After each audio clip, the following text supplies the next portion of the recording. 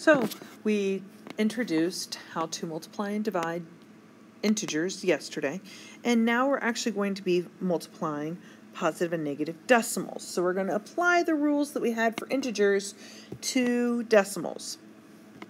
And we're going to apply the 7C3, which is multiplying integers, to 7C7, which is to compute with rational numbers fluently. Now, we talked about what rational numbers are. Rational numbers are going to be fractions, and they are decimals, and they are integers. And what's interesting is that all of these can be interchanged. And so we have to come up with an algorithmic approach. An algorithmic approach is kind of like a set of rules that we're going to follow in order to do it the correct way every single time. So what we're going to attack right now is simply multiplying decimals. Positive and negative decimals.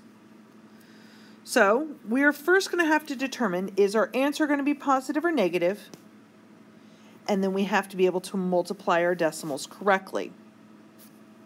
So if you can do those two things in attacking this problem, then you can be successful. So let's talk about some basic vocabulary. An integer is what? It is a positive or negative whole number. A rational number is going to be a fraction a decimal, mixed number, anything that can be written as a proper or improper fraction, anything that can be written as a ratio of two numbers, and it can be positive or negative. It includes integers, decimals that terminate or repeat, and fractions.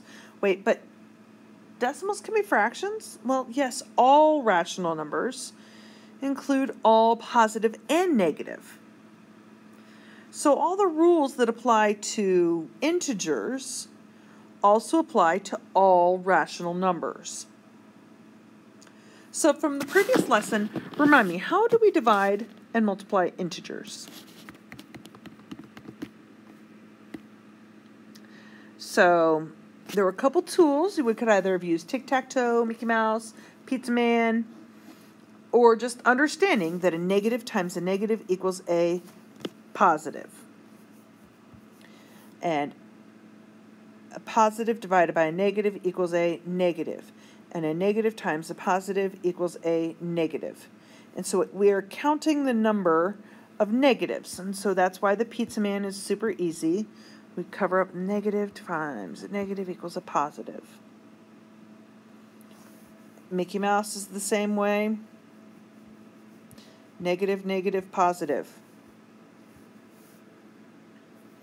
So I have a 15 that's positive, I have a 3 that's negative. What is left over? Looks like a pirate Mickey Mouse, but it is a negative. Tic-tac-toe works the same way. so let's apply this to positive and negative decimals. So the first thing we're going to do is only determine is our answer positive or negative. Okay, so Use our pizza man. We have a negative times a negative equals a positive. Negative, oh wait, that looks different. It's still multiplication. A negative times a positive equals a negative. Positive times a negative equals a negative. Okay, I got those. We good. Now you're going to multiply them. Okay, so there's a couple different ways you can multiply. I'm going to give you the traditional way, or I'm not going to give you the traditional way. Okay? We all know you can stack them on top of each other. I'm going to give you a different way to wrap your head around these. Okay, so I don't want you to flip out. I want I'm trying to give you a different strategy. If it works for you, great. Bonus. If not, this one where you're going to use a multiplication chart. Okay, so I am going to be multiplying 2 and 7 tenths times 1 and 6 tenths. Now, these look like 16 and 17, or 27, I'm sorry. 27, I could also write 27 as 20 plus 7.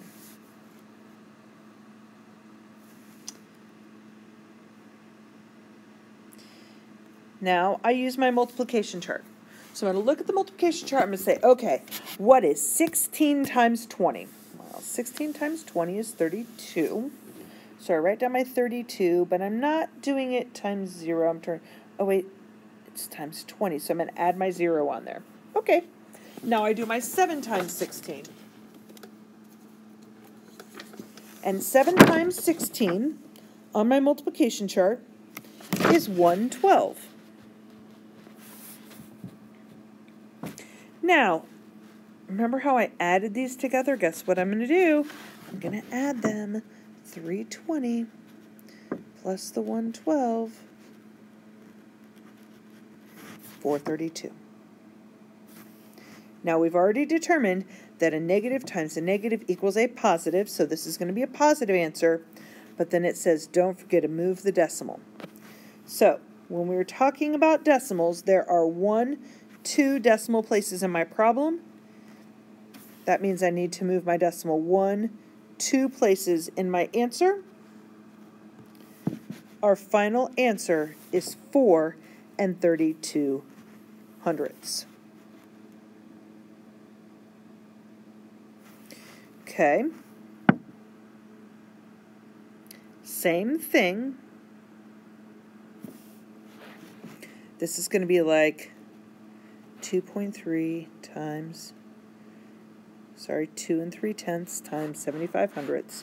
And 20, that looks like 23, which is the same thing as 20 plus 3.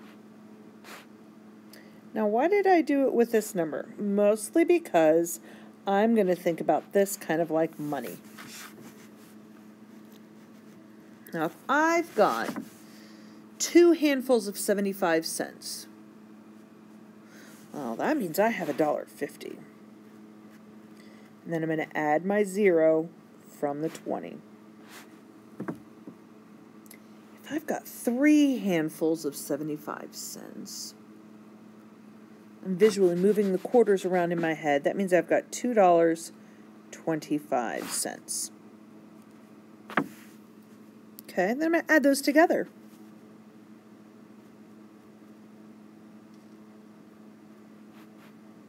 Five, two, seven, one. How many decimal places in my problem? There's one, two, three. That means it's one, two, three decimal places in my answer. And don't forget, is my answer positive or negative? So I have a negative times a positive equals a negative. That's our final answer. One more time.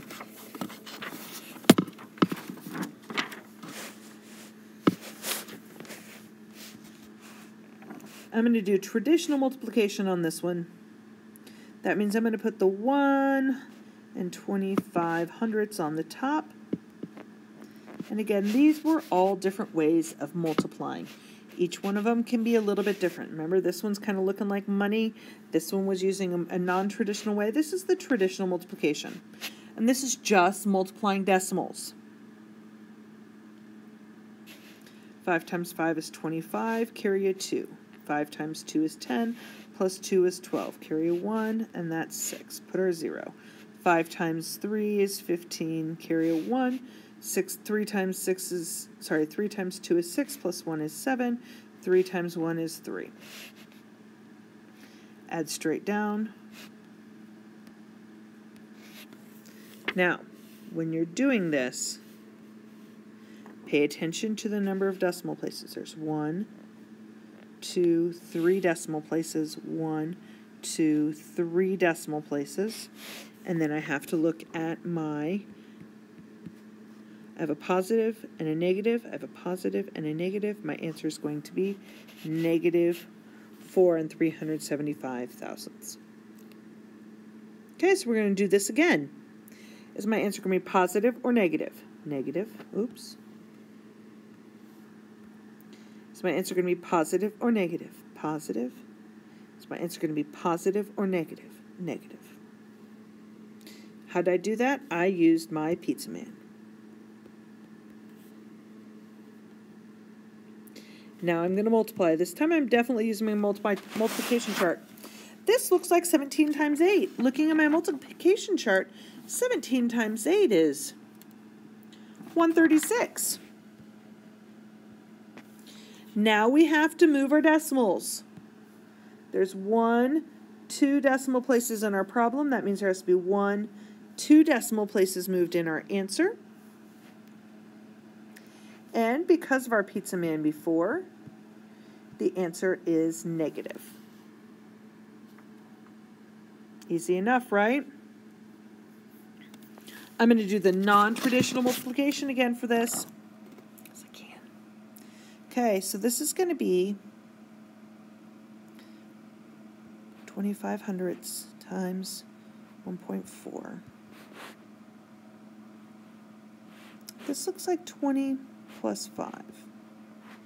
Now I can use and my now I can use my multiplication chart to do this multiplication. I've got 14 and 20 on my multiplication chart.